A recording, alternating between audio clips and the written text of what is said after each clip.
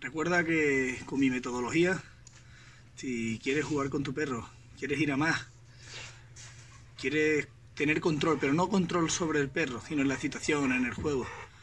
Vamos a aumentar el vínculo, ¿vale? Hay que aumentar el vínculo. El perro quiere estar contigo.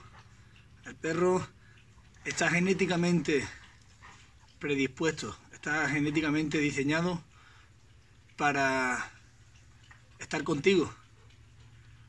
Ofrécele siempre cerca tuya cosas buenas. De ahí lo de las vueltas que me da, ¿vale? Las vueltas generan un estado en el perro de ilusión, de alegría, ¿vale? De control. Recuerda que de ti siempre salen cosas buenas. Eso hace que el perro se acerque a ti. Disfruta cada momento con tu perro.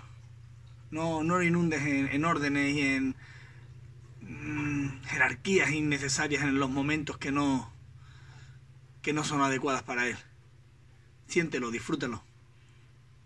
Y si no, no consigues hacerte con el vínculo, no consigues tener ese control, trabaja más, ponle más empeño y aparecerá. ¿De acuerdo? No, no te frustres.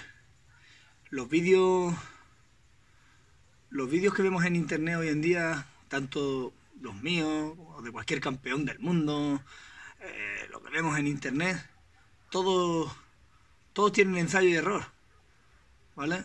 Todos tienen un preentrenamiento atrás, unos fallos.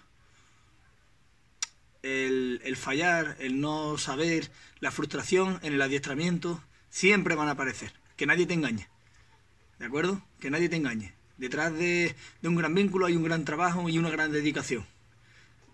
Los grandes perros siempre tienen detrás un gran dueño.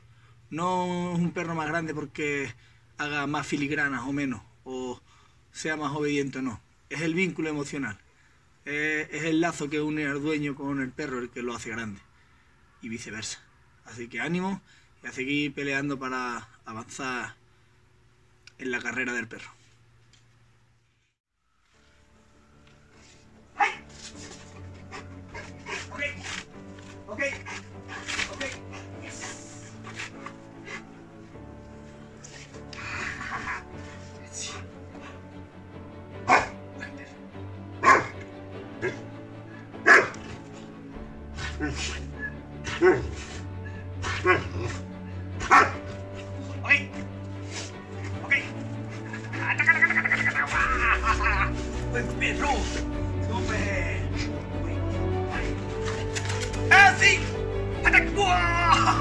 Muy bien.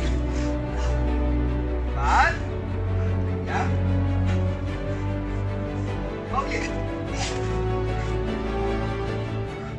Vamos, entre ya, entre ya. Ah, ah, ah, mi perro.